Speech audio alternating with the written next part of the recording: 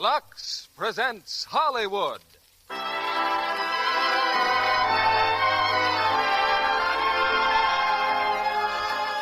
Lever Brothers Company, the makers of Lux Flakes, bring you the Lux Radio Theater, starring Dennis Morgan, Jane Wyman, and Alexis Smith in One More Tomorrow. Ladies and gentlemen, your producer, Mr. William Keighley.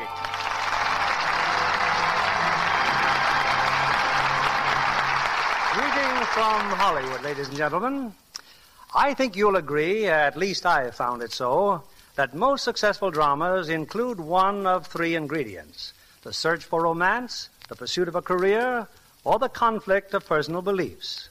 Our play tonight, One More Tomorrow, happily combines all three, which may be one reason why the Broadway version was such a hit and why it made such a successful motion picture. Another reason for its screen success is unquestionably tonight's three stars Dennis Morgan, Jane Wyman, and Alexis Smith, who bring you Warner Brothers' entertaining and provocative screenplay. One More Tomorrow is particularly appropriate to this merry month of June, dealing as it does with problems of marriage and romance. A play I'm sure our June brides will especially appreciate. And speaking of that, we have a friendly letter from a young bride, Mrs. Dorothy Sherman of Los Angeles, who writes Long before my marriage, I was a faithful user of Lux Flakes, not only for my nice things, but for dishes too. You can imagine how good it made me feel at dinner just the other night when my husband complimented me on my appearance and my smooth, soft hands. Those Lux suds in the dishpan are a hint I honestly believe all brides should follow. Our thanks to Mrs. Sherman, and may Lux continue to help brighten a long, happy married life. On to our play, the first act of One More Tomorrow, starring Dennis Morgan as Tom Collier, Jane Wyman as Christie Sage, and Alexis Smith as Cecilia Henry.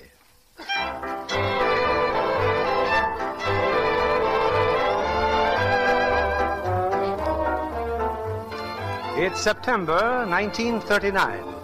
The fact that Germany invaded Poland just a few hours ago is in no way interfering with the surprise birthday party for Mr. Thomas Rufus Collier III. At the door of Mr. Collier's country home in Connecticut, Pat, the butler, ushers in two young women. What's up, ladies? Trying to crash a party? Now take it easy, Shamrock. I'm Miss Sage, and this is Miss Connors. We're from Mayfair Life magazine. Hoity-toity. You're not the butler. Why ain't I the butler? Oh, you certainly don't sound like one. That's what makes me so attractive, baby. Look, we came here to take pictures. We're supposed to shoot the party. Shooting's too good for most of them. So I'd gather. It's murder in Poland, and we've got to come here to a Playboy surprise party. Ah, don't take it so big, sister. Just snag a couple of drinks and make yourself at home. Thanks. But would you mind pointing us out, pointing him out to us, that Thomas Rufus Collier III? It ain't polite to point, but that's him over there. Hey, Tom. Yeah? The girls want to take your picture. Why? The boy says why. Well, I've been asking myself the same question all the way from town. They're okay, boys. Come on over. Let them take your picture. Well, take your pictures, my child. The house is yours. Her name is Miss Sage. Would you mind going to the doorway? Your friends have just surprised you, and I get a picture of you st- standing there completely astonished. Astonished, huh? How's this? Oh, that's fine. All America's waiting for this, Mr. Collier. Please don't disappoint them. Oh, I never do. How are the lights, Anne? All set. May I have the first dance with you, Miss Sage? You do dance. Your head, Mr. Collier. Higher, please. I suppose it's all right if I dislocate my neck, huh? It's all right with me. Well, come on now, look astonished. Here we go, Mr. Collier. That's it. Oh, that's fine. Thank you. Oh, you're not going to stop with one. Well, we'll just browse around for a while, if that's all right. Oh, but I just can't let you, I uh. thought you and I were going to have a quiet little talk. Were we, Father? Oh, Tom, be serious. There's a vacancy in the firm, and I thought that. Not again. Well, I thought you might like it as a birthday present. I've arranged. well, what do you want? Him? Excuse me for butting in, boss, but you should see what's sitting outside in the patio. Well? Your lawyer, but what a gorgeous tomato he brung with him. Oh, for heaven's sake. Yes, what's the matter with you, Pat? Can't you see my father and I are talking business? Huh? But if you let that tomato get away, you're fired. I'll be out in a couple of minutes.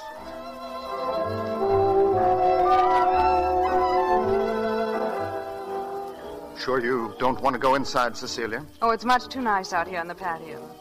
Thomas Rufus Collier III has a very attractive house. Yes, there's everything, Cecilia. Country home, completely equipped. Bachelor available. Is that uh, fantastic butler part of the equipment? Oh, Pat? Oh, definitely. Tom discovered Pat in a bar in Brooklyn. He's been his man Friday for five years now. Tell me more about Tom. Well, no sense of responsibility and a little money. Enough for a life of leisure while it lasts. Oh, his father's awfully rich. Money. The subject fascinates you, doesn't it? Completely. I just happen to like money. Lots and lots of money. I'm sorry, but I've lived on a shoestring ever since I was born, and I loathe shoestrings. And where exactly do I fit in? Oh, you know I'm fond of you, but as far as the future's concerned, well, I... Washed up covers it nicely, eh? Face it, Owen. A fine old family name and a pretty face are no good unless you do something about them. But why Tom Collier? You haven't even met him. Well, why do you have him as a client? Tom will come into a fortune one of these days, and he won't know how to use it. That's where I come in. Oh, no, darling. That's where I come in. I don't suppose it would do any good to remind you that marriage has to do with other things besides spending money. Really? Tell me. Well, making a home, having children. For other people, perhaps. I believe you're the most selfish woman I've ever met. Thanks for the compliment. Now run inside and get me a drink. yes, darling, with lots of ice to match that personality.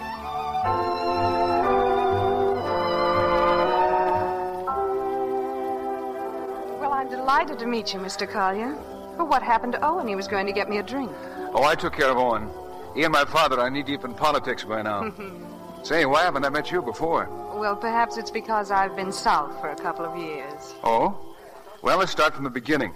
Where were you born? What's your favorite color? And uh, do you believe in dreams? You mean where have I been all your life?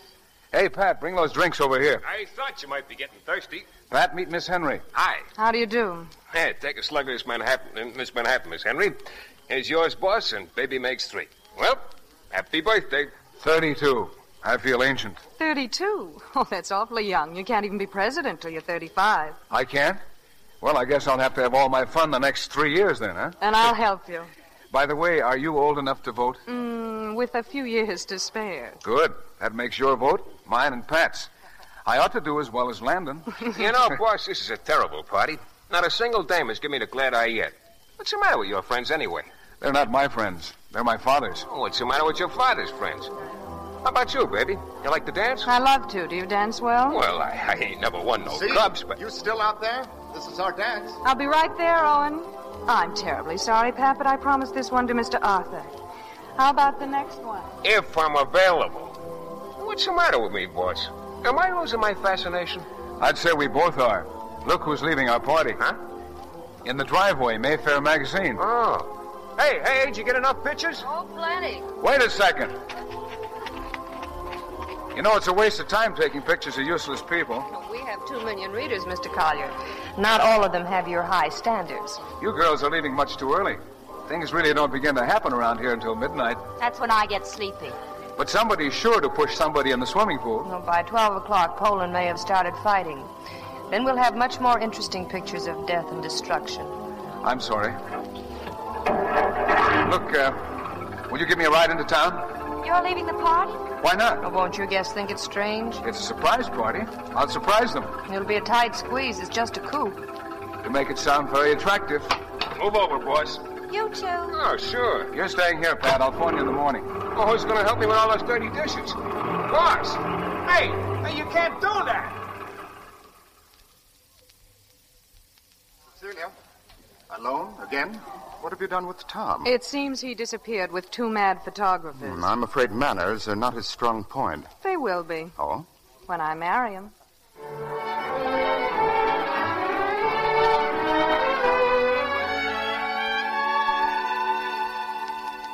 And this is our apartment, Mr. Collier. Anne's and mine. Very cozy indeed. And the gentleman sprawled on the sofa is Mr. James Fisk. He's Anne's boss. We've met before, haven't we, Mr. Fisk? No, I don't think so. I might have forgotten you, but you'd never have forgotten me. Strange. I could have sworn that. You uh, might have seen my picture somewhere. I used to be an advertising model. You were? Yes, I was the man with the dry scalp, pink toothbrush, or else my underwear wasn't happy with me. Now, wait a minute. It's also quite possible he saw your picture on the front page of Bantam magazine.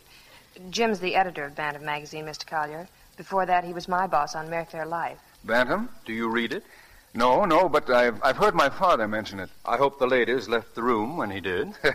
he doesn't like you very much, Mr. Fisk. The Bantam is nothing more than a good American liberal magazine. I don't know what you mean by a liberal magazine. We mean a publication in which no one will advertise and which very few people read. It tells the absolute truth. It's controlled by no interest, and it's indebted to no one except the printer. Hence, as with most liberal magazines, Bantam is always flat on its back. Well, I've developed the negative, Mr. Collier. Here, Jim, what do you think of it? Very pretty. But what is it a picture of? Of me, Thomas Rufus Collier III, amply demonstrating why there should never be a fourth. Hello? Yes, he's here. Oh, Jim, it's for you. Can't you observe I'm reclining on your sofa? Bring it over here. The cord isn't long enough. Well, tell him to call back another time when I'm nearer the phone. Oh, come on. Oh, this is ridiculous. Hello? What? Oh, yes, Herb. But they've been saying that ever since we first started owing them money. Well, tell him to come to the phone. You won't talk to me? All right. If I think of anything, I'll call you back.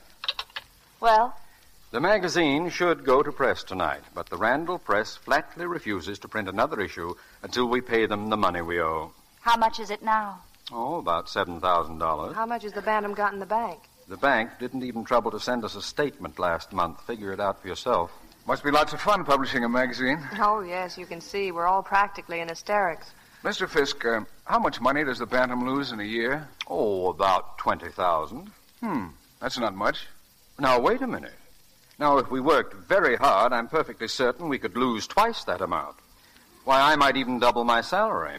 Well, that's beginning to sound like I might be interested. Are you serious, Mr. What's his name? Collier, Collier? I think so. Now, wait a minute. If you're coming in on this just on a rich man's whim, This is not a rich man's whim. If the world's going to war, the least I can do is go to work. What do you know about the Bantam? Do you know what it stands for?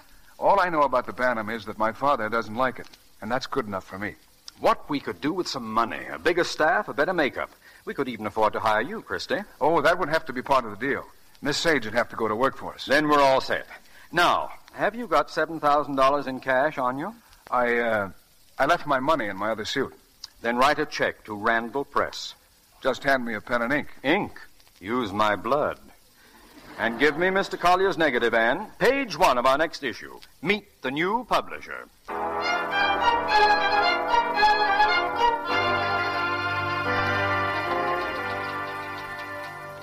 Jim? Jim, where are you? I'm lying down on my couch. Now, what do you want, Anne? Here, layouts. Want to take a look at 'em? Right after my 12 o'clock nap.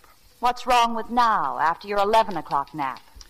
Look, be a good girl and buzz Tom and Christie. We have a lot of important matters to talk about. You're the laziest liberal I've ever known. Besides, Tom isn't in his office. I just looked in. That was a mistake.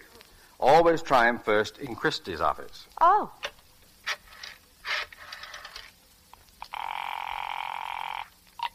Hello? Christie, is Tom with you? Want to talk to him? Jim wants to talk to both of you. Hustle over. It's a conference. How did you know Tom was with Christie, Jim? I majored in biology. Shall I tell you what I think? Oh, no. Please don't. I think those two are in love. Such things happen. They've seen enough of each other these past months. Hello, everybody. And what does our horizontal editor wish? Who wrote that editorial on the Bund meeting in Madison Square Garden? Well, uh, well, I did. Why? Oh, nothing. It just reads good enough to be me. Thank you. I knew one day you'd make me sit up and take notice. The day when you just sit up, I want to be here with a camera. I think clearest in a prone position. Well, children, we have an important decision to make. The Williams and Warren Advertising Agency, on behalf of their client, Albany Copper, wish to purchase our back page for six months. Oh? Well, what's the matter with that? We have a back page, don't we? Well, the trouble, Tom, is that once you've taken that sort of advertising, you don't really own your own magazine anymore. We'll find ourselves making concessions, soft peddling, listening to reason. You mean that we won't be able to print what we want to print? We won't be able to insult the people we want to insult? Not with Albany Copper on the back page. Then we'll tell Albany Copper to go jump in the lake. I'm glad you feel that way, Tom, because I've already written them a letter telling them to do just that. But not quite so politely. I shall have to deliver it in person, though. It'd never get through the mails. And, my love, you'd better help push me into a taxicab. The trouble with you is you're bedridden. The trouble with you is you're in love with me. Maybe that's the reason I don't ask you for a raise. Come on, old man, this way. Christie, what goes on there? Do you think Jim and Anne are in love? Of course they are. Then why don't they get married? Well, the thought just hasn't occurred to both of them at the same time. But it will someday. Tom, I'm very proud of you. Why? What have I done now? Albany Copper, Oh, I have principles now. lots of them. Well, if I have, it's your doing. You took me over, remember? I think I did a good job. Christie, what would you say if I kissed you? Well, I, I'd say, uh, why, Mr. Collier, during business hours? It's lunchtime. Oh, well, that's different then. As long as it's lunchtime, I'll kiss you.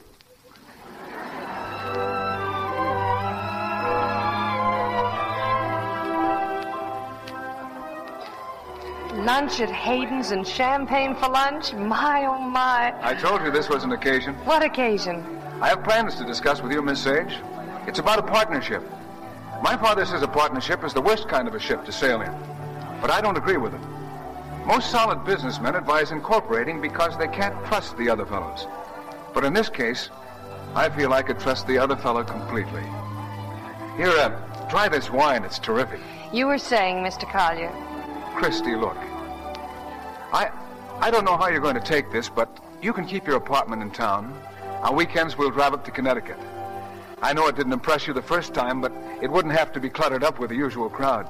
We could have our own gang and a special soapbox for Jim. Well, how does it strike you? Christie, I'm trying to ask you to marry me. I guess I knew you'd ask me. Sooner or later. Clever, Christie. Oh, Tom, I, I don't know what to say. Say yes, and I'll get back my appetite. Oh, look, we're good friends, the best in the world, but I wouldn't fit into your life at all. That's nonsense. You would fit in anywhere. Tom, I don't like your pre-Bantam friends, and I know they wouldn't like me. I don't like them either. But they're part of your life, whether you're willing to admit it or not. But what about it? Please let me finish. I've worked so hard all my life that I've had no patience with people who didn't. I know myself pretty well. I'd be bored stiff with a lot of money. Oh, come now. Money's not so bad. Now, you see, you take it for granted. I couldn't. But you could go on working if that's what you wanted. But I wouldn't want to work if I were married. I'd want a home, a real one, raise a family. Well, that's just Oh, fine. no, Tom. No, it wouldn't work. Christie, all this analyzing, it isn't getting us anywhere. You're thinking too much. Let yourself feel for a change. Tom, I believe in marriage. So much so I want to give it everything I've got when the time comes. I don't think a person ought to get married unless it's all important. I mean, when you think of the person, you're breathless, never any doubt. An all out feeling. Are you trying to tell me you don't love me? Oh, I'd know if I loved you. Is that final? Well, then I guess there's nothing more to say. Kind of spoils things. You mean the Bantam? Yeah? Well, don't worry about that. I, I'm resigning anyway. Christie. No, look. I've worked a long time for other people, and now I want to work for myself.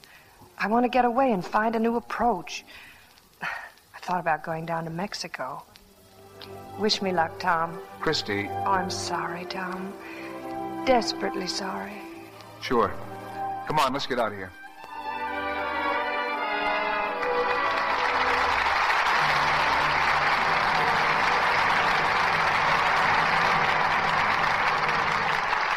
Stars, Dennis Morgan, Jane Wyman, and Alexis Smith, will return in a moment with Act Two of One More Tomorrow. What's this about a new use for an unfinished house, Libby? Why, it makes a wonderful place to dance. That is, if you're as clever as Gene Kelly. In Metro Goldwyn Mayer's new picture, Living in a Big Way, he does the most sensational dance of his career. Right over the roof, walls, and framework of a half-built house. Even the tools take part. Well, if I were building a house, I'd like to have Marie McDonald inside it.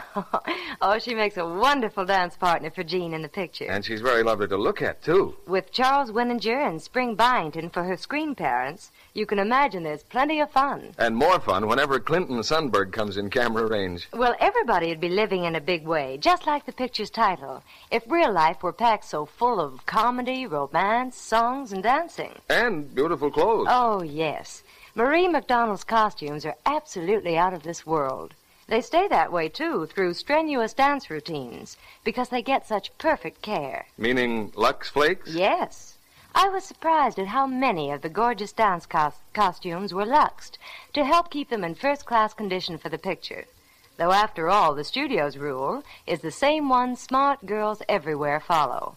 If it's safe in water, it's safe in Lux. Colors do stay lovely longer with Lux Care. That's been proved. You remember, Libby, that a famous laboratory washed scores of different fabrics. When they checked the results, they found that those washed the Lux way stayed color fresh up to three times as long as those washed the wrong way. That means a lot to a girl on a budget. She can lux everything from play clothes to pretty afternoon dresses for ever so little, yet keep them fresh and gay much longer. That's true, Libby. I've seen summer cottons and printed rayons luxed as many as 20 times, and they still had that nice as new look. That Lux look. Now back to your producer, William Keighley. We continue with the second act of One More Tomorrow, starring Dennis Morgan as Tom Collier, Jane Wyman as Christie, and Alexis Smith as Cecilia.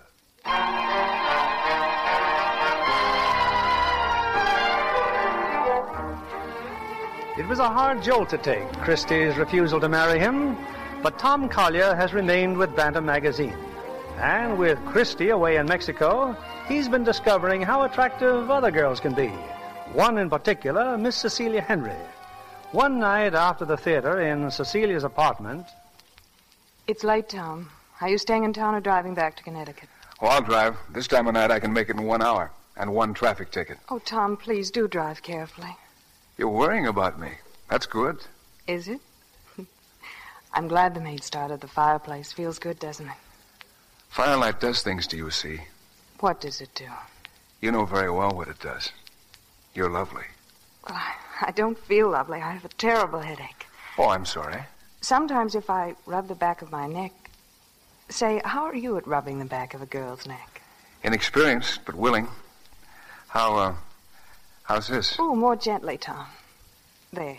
That's better. Oh? Is that part of the treatment, kissing my ear? There's a slight extra charge. But well worth it. It's uh, silly to kiss a girl's ear when. When, if she'd just turn her head like this. Darling. Tom, it's. It's almost three o'clock.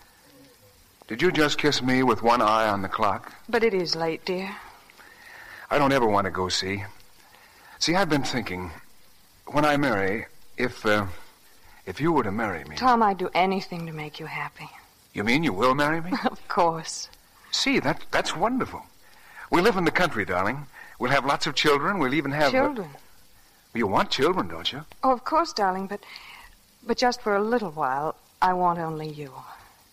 Tom, what will your father say? Will he approve of me? Approve. Darling, you're the one subject we never argue about. Mrs. Collier. Mrs. Thomas Rufus Collier the Third.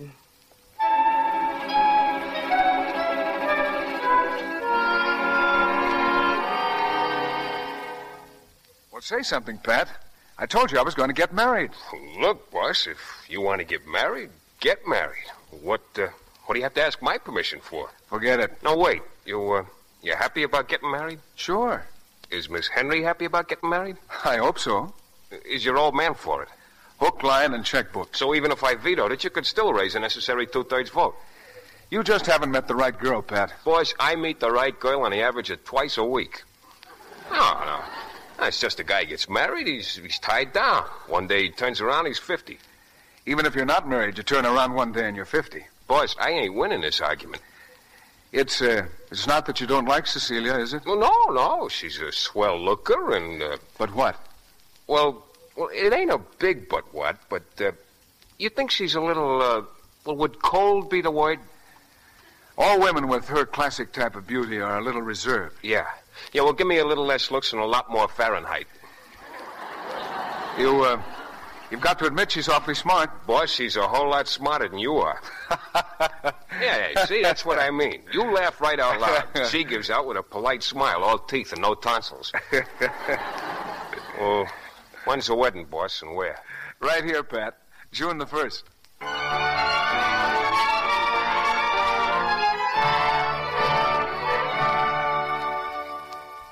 I'm sure glad we don't throw a wedding here every week, boss. The guests all gone? Me and your old man just rolled the last of them out the front door. Well, I'll start cleaning up the joint. What a character. yes, you really married me, haven't you, see? for good and always. Heaven make this one good. You see, I, uh, I haven't much confidence in marriage. I was exposed to a very bad case as a baby. We'll make this one good. Oh, Tom, it was such a wonderful wedding. And I'm so glad your friends from the Bantam were able to come. Tom, wasn't there another girl from the magazine? Christie? Who? Uh, Miss Sage. She's, uh, she's in Mexico, I think. Oh. Well, should we. Well, here you are. Hello, Father. Tom, marrying Cecilia is the only smart thing you've ever done. Being born your son wasn't such bad judgment. I, uh, I have a little present for you. Here, a check. Oh, well, I didn't know there was this much money in the world. In Father's world, there is. It's very generous, Dad. What are the strings? Well, I, I don't expect you to throw it away on that crazy magazine, if that's what you mean. That's what I thought. But I have no objection to the publishing field. Matter of fact, I made a few inquiries. Wilder and Higgins might be persuaded to sell a half interest in their outfit. I'm sorry, Dad. I'll stick with the Bantam. Oh, the Bantam. Nobody reads it, nobody ever will. You'll ruin yourself supporting it. That's a risk I'll have to take. Thanks anyway, Dad, but we won't need the check. Why, Tom? I'll, uh, I'll see you in the house, darling. Ungrateful young fool. Don't be upset, Father. He'll find himself one day. Cecilia, if there's any hope for Tom, you're it. From now on, I leave everything in your hands, Including the check? including the check. you know, you and I should have been in business together. Well, we are in a way, aren't we?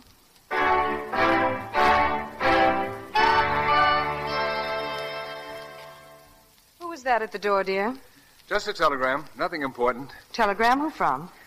Really, see, it's, it's nothing. Are you going to start our marriage out with a deception? These discerning women. It's from Christie. Here, read it. Arriving from Mexico this evening, she wants you to meet her. Well, why don't you, dear? The night we're back from our honeymoon? Certainly not. Oh, really, darling, I don't mind. She has to find out about us, and it would be nicer to hear it from you. See, you mean that? Of course I mean it. You're unusually charitable for a woman. I like that. Thank you. She would think it strange if I didn't meet her. We were good friends, see? Yes, I know you were. Now go and meet her, darling. Run along.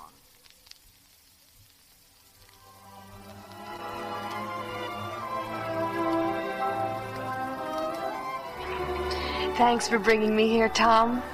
Why did you want to come to Hayden? Oh, because it was here we once said goodbye. You, uh, you haven't told me a thing about Mexico. Oh, you'd love it, Tom. Sometimes at night in the sleepy little towns, you hear a man singing far away. And beyond your balcony, the stars are whiter than any stars ever were. You've changed. Analytical Christie talking about stars and balconies. I remember the last time we were here. Oh, Tom, Tom, I was so wrong. I wanted so badly to tell you. I did love you, only I didn't know it. Why didn't you sock me for being so stupid? Why didn't you, darling? It would have saved us so much time. Christie. Tom, I love you so much. From the very moment I began to miss you, I. Christie. I've just been married. Who is she? Cecilia Henry. Oh. Tall, blonde, and beautiful. Does she love you? I think so. Clever, Christie. Knew all the answers. Clumsy, Christie.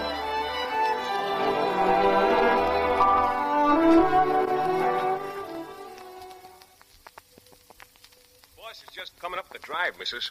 We'll have cocktails in the patio. Bring the mail out first. Wait till he gets a load of them bills. You open my husband's mail again. Oh, he don't mind. I always used to. What you used to do five months ago is no concern of mine, but what you do now is. Okay. And when you come back, please see that you're wearing your white jacket. And our circulation's going up, see? A thousand new subscriptions last month. Not bad for the Bantam, huh? Sit down, darling. You must be tired. Where's Pat? Mixing you a martini. Tom, Tom, I hate to say this, but. Well, really, we've got to get rid of him. See. Well, when you lived here alone, it didn't matter. Perhaps Pat fitted in. But, well, uh, are we being fair to him? Depriving him of a chance to make something of himself. Pat belongs to that blessed band of humans who don't want to make something of themselves. It's a great talent if you have it. Darling, please. I think we'd all be happier. I won't be happier. Pat and I understand each other, see? I'm awfully fond of that guy. You're awfully fond of me, and we understand each other, too. Do we? Tom, I'm sorry, darling. I'll tell him. thank you. Oh, uh, this came this afternoon, this invitation. Henri Picard Gallery. Oh, an exhibition of photographs by Miss Christine Sage. To be held. But it's. It's tonight. Strange they should have sent an invitation at the last minute. See, would you mind very much going? If if I only felt better, dear. I, I haven't been feeling very well lately. See, you're, you're not keeping anything from me. Tom, you know I'm not. I thought you're not feeling well. Are my- you going to start talking about the patter of little feet? Don't joke about it, see? After all, why not? There's plenty of money. You wouldn't be tied down. Let's not talk about it now. If you really want to go to Miss Sage's exhibition, I'll, I'll have to change. See, wait. You meant what you said that night, didn't you? About wanting to have a family and really make something of our marriage? Of course I did. Darling, please don't be angry with me. You, uh, you better go upstairs and get dressed, dear. You won't forget to tell Pat. No? I'll tell him right now. Funny you want to talk to me, boss. And can I be wanting to talk to you? Pat, I, uh, I've been thinking. You know, there's not much future in buttling. Oh, well, uh, You have no idea how grateful I am for everything you've done. hey, take it easy, will you? No, no, I, I really mean it. I, You think I'm a great guy, huh? the tops. Hey, you would have to say that at a time like this. Just when, when, When what? well, I. Oh, forget it. You're not in trouble, are you? Me? What trouble? Pat, what I've Tom, been you trying gotta to listen to me, and, and don't hold it against me, but I, I'm quitting you. I, I took another job. You what? I know what you're gonna say. Holy cats. Well, I, I just couldn't stand it any longer, and well, she don't like my ways. I, I mean the missus. So I'm going in with Moe Winters. He's opening up a gym here in the country, and he asked me would I run it for him, like Muldoon's, only with a small bar attached. And well, well, so help me, I, I give him my word. When does he want you to start? Well, now, boss, right away. But Then pack your bag. You're leaving tonight. you mean it's okay? You won't be sorry? You, you mean you? I'm overjoyed for you. Oh, take it from me, boss. You're the goods, and me running away from you like a rat. Cut it out, Pat. Get going, will you? And you, uh, better leave that shaker. I, I think I could use a drink.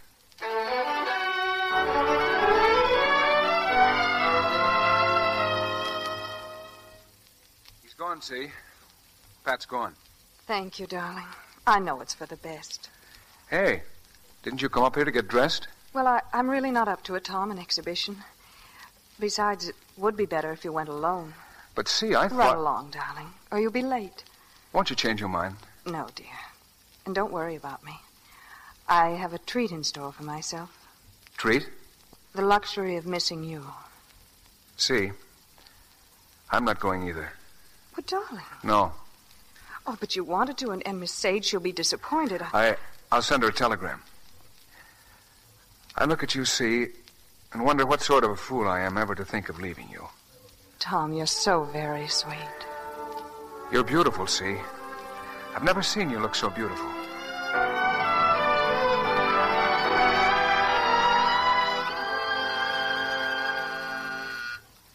Just a minute. Hello, Christie. Good morning. Oh, Tom, what are you doing here? I just stopped by on my way to the office. Well, you're very early. Yes. Well, Anne hasn't left yet. I'll, I'll tell her you're here. You can give her a lift. Christie, I want to speak to you alone. Your exhibition last night, I read the morning papers. I, I've them all here in case you missed any. At least the critics are unanimous in their opinions. The greatest flop that ever hit an art gallery. They weren't fair. No, I don't think so, but how do you know you weren't there? No, I. I thought maybe you'd be needing a friend.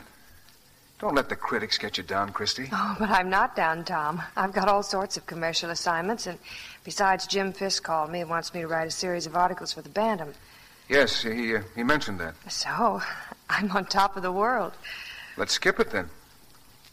No, Tom, don't soften. Be tough so I can take it. Not tough, honest. You taught me to be honest, remember? All right. Be honest. You have a great talent, Christie. Thank you. How do you want me to use that talent? Well, I'd use it to. to. Look, let's have lunch and talk it over. No, Tom. I've missed you, Christie. Haven't you missed me? Well, you see, it's this way. I... Oh, of course I've missed you. We need each other, Christie. No, no, Tom, it won't do. Why can't we see each other once in a while? Christie, please. All right. On one condition. Always out in the open where everybody can see. Why should a friendship be hidden? What's there to hide? Well, things get misunderstood. Not this. One o'clock for lunch at Hayden's? I'll be there. Thanks, Christie. Everything all right, Christie? I, I recognized his voice. Couldn't be worse. Oh, poor kid. No, I, I'm glad, but I can't see him again. Yeah, that's wise. No mess. We, we couldn't have that. Hey, now take it easy. He, he said he'd give you a lift to the office. He'll come back for you now. And if I see him again, I'll die. He loves you, Christie. Oh, I don't know. I don't, I don't think he knows himself. Oh, Anne, did you see the way he looks? Curly hair and that same crooked smile. Now stop. He'll always look like that, even when he's old. And the funny way he stands with his feet sort of duck-footed. Oh no, not at all. It's a perfectly natural way to stand. Hey, I forgot Anne. Let's make it twelve thirty, Christie. Twelve thirty at Hayden's.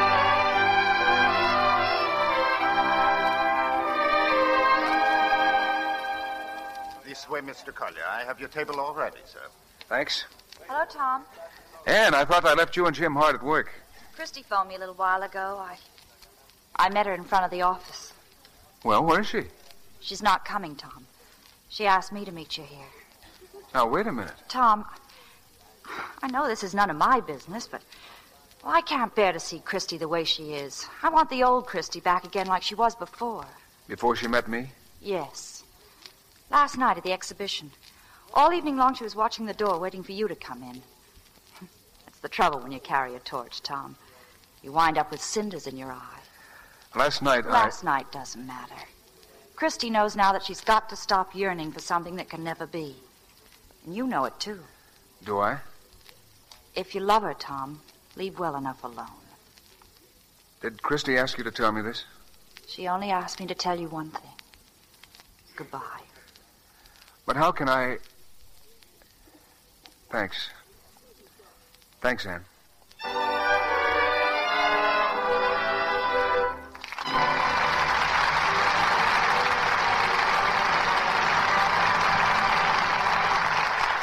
pause now for station identification. This is CBS, the Columbia Broadcasting System.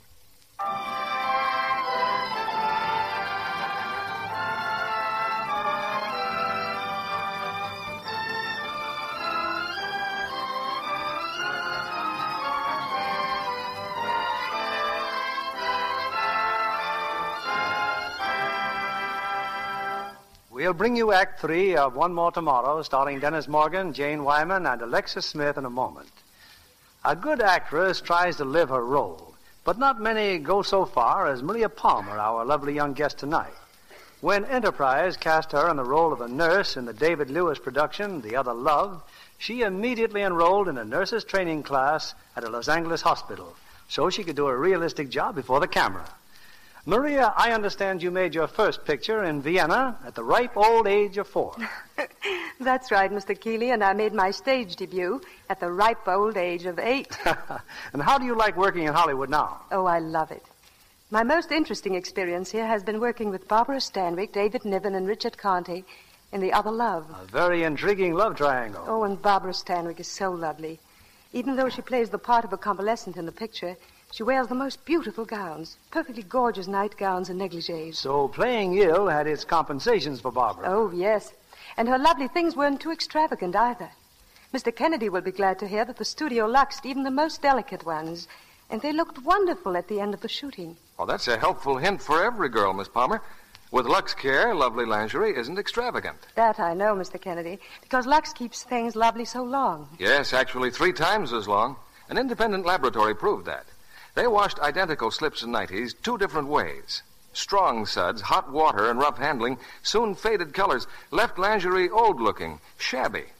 But Under Things washed the Lux way stayed lovely three times as long. And that's a help to any girl. Right you are, Miss Palmer, because when Under Things get gentle Lux care, girls find they can afford three times as many undies. They can buy extra ones instead of just replacing drab, faded ones. Just one more reason why Lux is thrifty. Thank you for coming tonight, Miss Maria Palmer. We'll be seeing you again on the screen. Now, here's Mr. Keighley at the microphone. Our curtain rises on the third act of One More Tomorrow, starring Dennis Morgan as Tom, Jane Wyman as Christie, and Alexis Smith as Celia.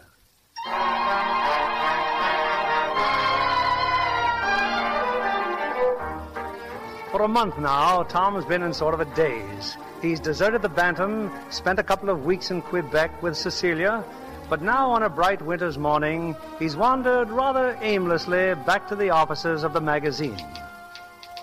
Well, how do you do, Mr. Collier? Darn nice of you to show up. Thanks, Jim. How's everything? Fine. Business is much better since you're not behind your desk every day. Where is everybody? Christie's out of town, if that's what you mean. Yes, that's what I mean. And how's your wife, Mrs. Collier III? Do you really care? No Anglo Saxon really cares. Well, I think I'll take the afternoon off. Uh, just a moment. I have a little matter to discuss. Can it wait? I'll be back again next month. Here on my desk is a series of articles about a certain company. This company has an Army contract. The articles prove they've been delivering defective wiring to the Air Corps. Is that so serious? My dear boy, the wiring goes into airplanes.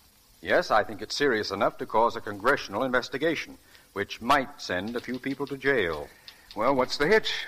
Go ahead and publish the articles. One hitch is that the company in question is Albany Copper, an outfit festering with your friends. It means your friends would go to jail. Oh, it isn't exactly nice to send your friends to jail. They're not exactly nice people. Confound it, they ought to go to jail. I think so. Well, go ahead and publish the articles.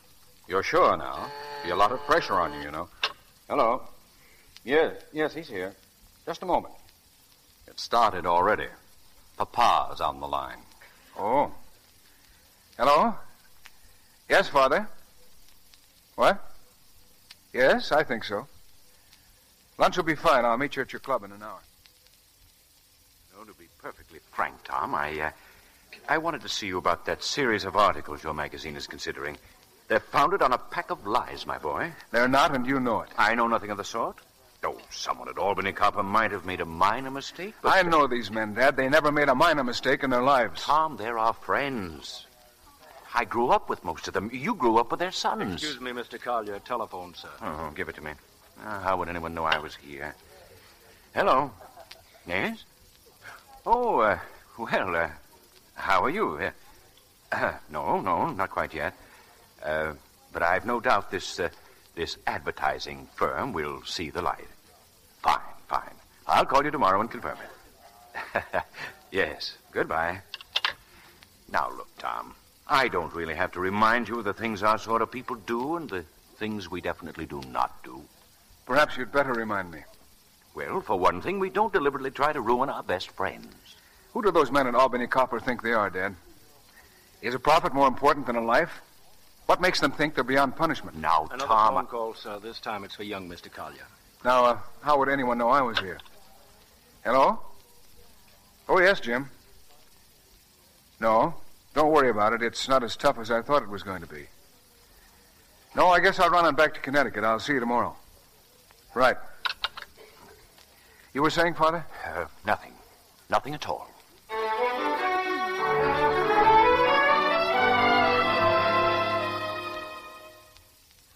Dear, I specifically told the new cook you wanted three minute eggs, Tom, and just look at these. She's as bad as the new butler. Why don't you fire them both? Don't be silly with three defense plans around here.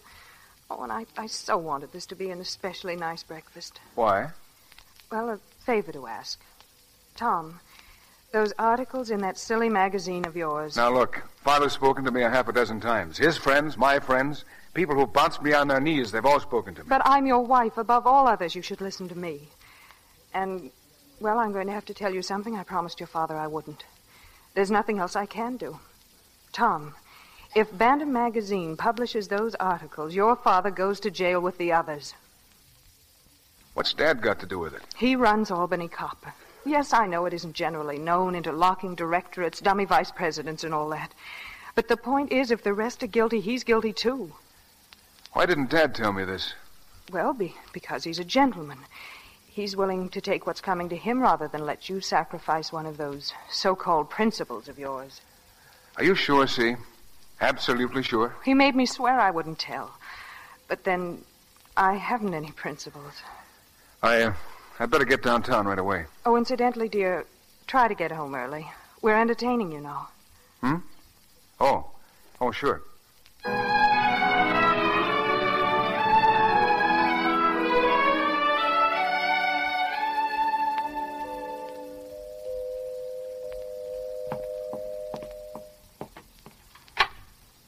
Yes?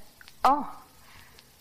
Why, you're Christine Sage, aren't you? Good afternoon, Mrs. Collier. Won't you come in? Thank you. I'm sorry to have kept you waiting, but I've been on the phone. My cook and butler suddenly decided to quit. I've been trying frantically. Well, I won't take up much of your time. Oh, I'm so sorry. Tom isn't home. Tom's in his office, Mrs. Collier. We've had to make a lot of last minute changes in the next issue of the Bantam. A series of articles was suddenly canceled this morning. Oh? Well, do sit down, Miss Sage. You know, I, I feel I know you quite well. Tom has spoken of you so often. Really? So much so that sometimes I've had a twinge of jealousy. so stupid of me. You're wondering why I'm here. Well, I'll admit I'm a little curious. I wanted to talk to you about the Albany Copper articles. Oh, well, I thought you just said that was all settled. In a way, yes. But not a very nice way. Why did you lie to your husband? Really, Miss Sage? Why did you tell him his father would go to jail? Because it's true. I wrote those articles. I made a very thorough investigation. Tom's father owns a lot of shares, yes, but he couldn't possibly have been aware of what was going on. I know my facts. And I know my husband and what's best for him. I had to stop this reforming the world complex you people have imposed on him. And you didn't think a lie or two mattered as long as you got what you wanted. Exactly. Now, suppose you tell me what you want, Miss Sage. I want you to tell Tom the truth. And if I refuse? Tom is the publisher of Bantam magazine. It's up to him whether or not those articles are printed. And if they're not printed, he'll lose everything. Oh, lose everything. Yes. All that he's built up this past year will be gone. He won't be able to trust himself because when you publish a magazine like the Bantam, above all things, you must keep your integrity. You must do what you know is right. In this case, it's for me to decide what's right for Tom. It's a wife's privilege, you know. The right wife, yes. You're very outspoken. I'm sorry, but. No, no, really, I like it. I think I am the right t- wife for Tom. And this phase will pass, and he'll take his rightful place in the scheme of things. Whose scheme? Mine, no one else's. Certainly not yours. Oh, you've got me all wrong, Mrs. Collier. I confess I love Tom. I know now that I've always loved him. But when he asked me to marry him. Tom asked you? Yes, I thought you knew. Are you trying to tell me that you refused to marry Tom Collier? Unfortunately, yes. I've often wondered what sort of a woman you were. Now I know. But I am glad you came down here this afternoon. Well, I'm sorry I came. I've wasted my time. You know, it's a shame. I've seen what having a job of work has done for Tom. But I can also see that you're not interested. You shut the door against honor or integrity or anything worthwhile because you know that one ray of decency let into your marriage would wreck it. I've been very patient with you, Miss Sage, but now you're going to listen hey, to me. Anybody home? You were saying, Mrs. Uh, Collier? Nothing. Cecilia? That isn't Tom. No, that happens to be his father. Well, I won't embarrass you. I can leave through the patio. Goodbye, Mrs. Collier. Father, in here, dear. Oh, hello, see. Say, wasn't that that uh, photographer woman just leaving? We were just clearing up a little unfinished business. Oh, well, now suppose we do the same. Let's have our little talk before Tom gets home. I'm ready, Father. Let's go into the library.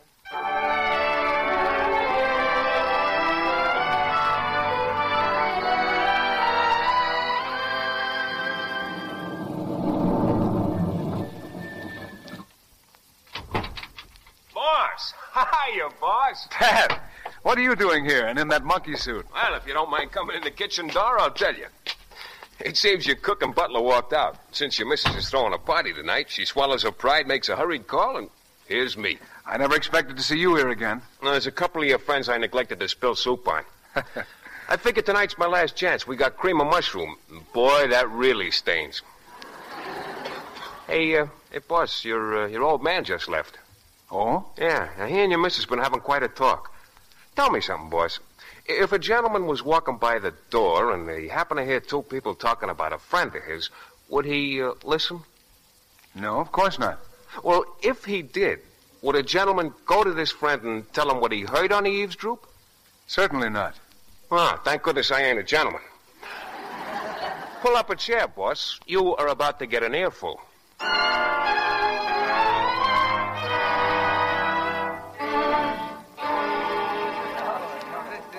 Well, good night, Z. Had a lovely time. Good night, Henry. I brung your car up the driveway, Mr. Pickering. Thank you. I can't tell you how sorry I am about your dinner jacket. Oh, nothing at all. Just a little soup stain. Ain't I the Butterfingers? Tom, dear, are you tired? No? Do I look tired? Well, you look something. Did the party bore you? I thought it was a grand success, except for Henry's dinner jacket. Yeah, I I thought it kind of relieved the monotony myself. You can turn out the lights, Pat. Good night. okay, Mrs. Good night, boss. Good night, champ. You coming up, dear? See, I want to have a little talk with you. Why, of course, darling. What about? First of all, I'm going to print those articles. Your what?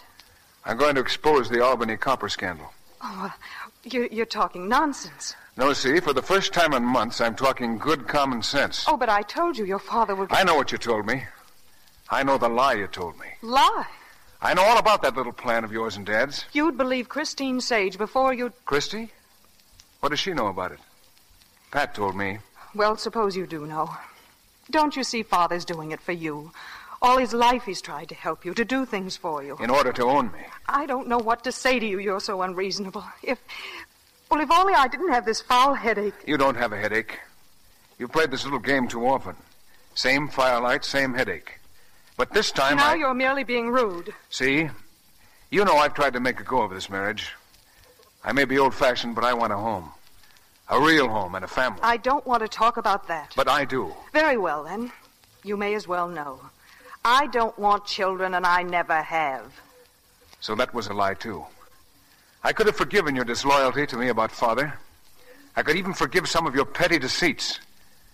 But I don't want any part of a marriage that's founded on a lie. Stop prattling about honor and loyalty. You married me for exactly the same reasons I married you because I attracted you, because you thought I'd be an asset to you. Well, you've got just that. I haven't changed. And all this business about having children is your way of putting the blame on me because the marriage hasn't worked. Well, I'm fed to the teeth with it. Good night. Well, uh, I'm going now, boss. So long. Where you going, Pat? Station. Just time enough to make the milk train. I'll drive you. Oh, it ain't far. I can walk. No, I, I'm leaving, too. I'm going back to my wife, Pat. Ain't you going in the wrong direction? Your wife's upstairs. I mean my real wife.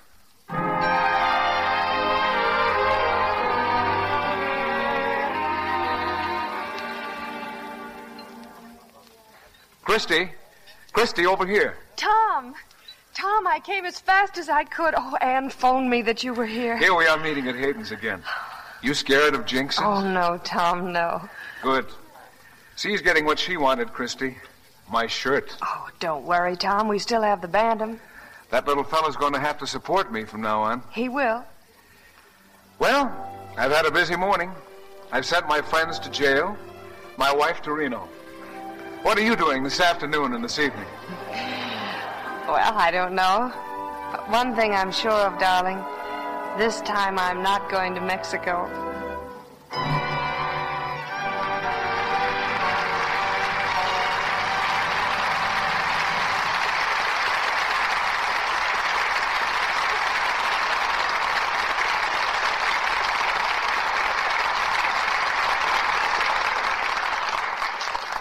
Our stars return for their curtain calls, Sally and I have a story for you. It's called Where There's a Wool, There's a Way. Or Leave It to Lux. It's a continued story because when you give your blankets Lux Care, they continue to stay soft and fluffy longer. And it's an escape story because with gentle Lux Care, you escape things that are particularly hard on wool blankets. There's no need for hot water or strong soap. None of that rough handling that's so apt to shrink and roughen the soft wool fibers. It's a story that needs to be told right now, too, when you're getting ready to put most of your blankets away for the summer. You know how wonderful Lux is for baby woolens, your own sweaters, and your husband's wool socks. Well, it's just as wonderful for wool blankets. And they stay lovely, last longer when you lux them. Besides, moths don't like clean blankets.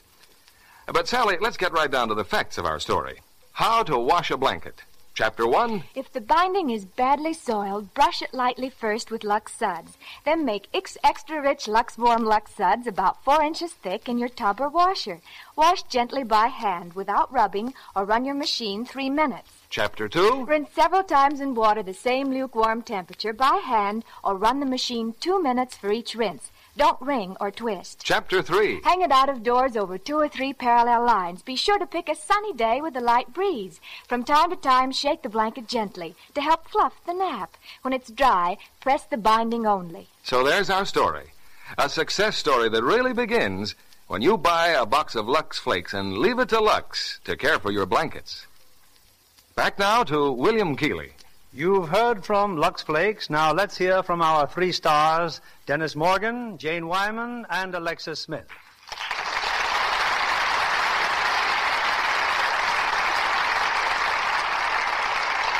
You know, this is something of an occasion for you three. Being on Lux is. How else do you mean, Bill? Well, Alexis here has just finished celebrating her birthday. If a woman can ever really celebrate a birthday. and you and Jane are opening here in your latest Warner Brothers picture, Cheyenne. Well, thanks for the plug, Bill. And Dennis's fans are going to love him in that picture. He's so brave and so rugged. well, well, who wouldn't be brave? Wearing a brace of young horse pistols. Just what are young horse pistols? Colts, of course. I understand you went to Cheyenne for the premiere of that picture, Dennis. That's right, Bill. Almost didn't get back. What happened, Denny? Well, they don't know when winter's over in Wyoming. We almost got snowed in. Snow, the end of May? Six inches. How do you account for that? Well, that's too deep for me. But when the weather's right, that's wonderful fishing country, Dennis. Don't I know it? Those mountain streams are jammed with trout. You sound as if you're speaking from experience. Sure. I'm the guy that left them there. Alexis here has just returned from a trip, too, down through Mexico. Have any fun, Alexis? Well, I was so tired when I got back, I must have. but I'm glad we got you all back for tonight's performance. And incidentally, we have another great treat for our audience next week. What's it going to be, Bill? One of the season's most promising screen hits with a brilliant cast. It's David Lewis's Enterprise production of The Other Love, starring Barbara Stanwyck, George Brent, and that sensational new star, Richard Conte. A great cast and a great play, Bill. Yes, it's the sensitive and sympathetic story of a woman fighting for her life and two men fighting for her love. A strange, dramatic triangle that builds to a deeply moving climax. Sounds like a wonderful evening to look forward to. Good night, Bill. Good night, and Good our night. sincere thanks.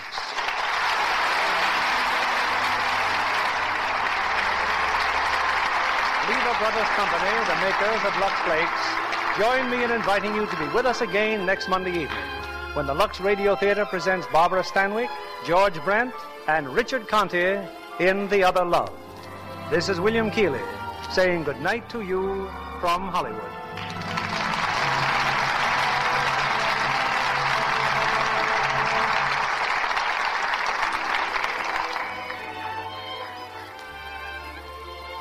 Here's a way to help bring down your food budget.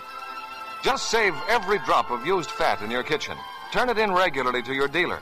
He'll give you cash for it. In fact, more than dealers paid last year for used fat. Use that money to cut your meat or grocery bill. America is still seriously short of fats and oils for soaps and other things you want. So keep right on saving all the used fat you can.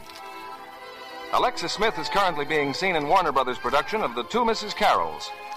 Heard in our cast tonight were Gale Gordon as Jim Fisk, Ira Grossel as Pat, Frances Robinson as Anne, and Bill Johnstone as Rufus Collier, with Stanley Waxman and Charles Seel.